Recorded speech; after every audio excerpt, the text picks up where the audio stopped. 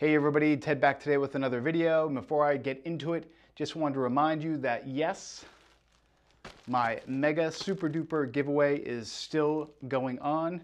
That's right, this six pack of quilted northern toilet paper could be yours. All you have to do is click the subscribe button, click the bell icon to get new notifications when videos become available, click the thumbs up icon on this video, and leave a comment down below, something civil of course, and you will be entered to win this great, great, great prize in these somewhat uncertain times. And let's get into it. So today I wanted to talk about what you can do at home for photography when we're all stuck at home. And one of the areas of photography I love is macro photography. But on the Nikon Z system, you're kind of in a pickle at the moment. Unless you already own a Nikon F macro lens, there is no native Z mount lens for macro photography. Now, if you have the FTZ adapter, you can of course use the 60 millimeter Nikkor uh, macro lens or the 105 millimeter macro lens by Nikon. And those are great lenses, but they're both kind of expensive.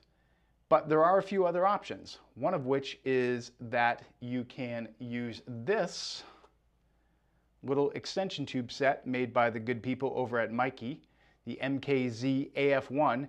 And this allows you to use your native Nikon Z mount glass as a macro lens. And the way that works is simple.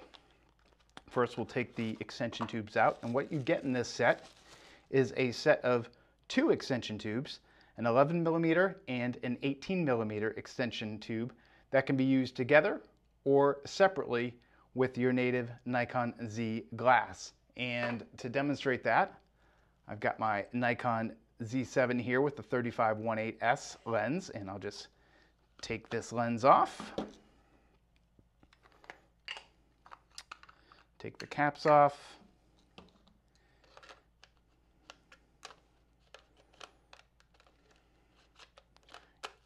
Attach that to the body, attach the lens to the tube, and you are good to go. Now, as I said, these extension tubes, they basically just take the minimum focusing distance of this lens and greatly reduce it. Now, how much they reduce it to will depend upon the lens itself. On this 35 millimeter 1.8S, the minimum focus distance is literally just a few millimeters. On my 85 millimeter 1.8S, it's probably uh, about uh, ooh, probably about 20 between 15 and 20 millimeters, so it's a bit further. Uh, that's why I like using it with the 35 1.8. You can get really, really close to your subjects. And uh, I'll show you that now with the few photos I've taken over the last couple days. So take a look.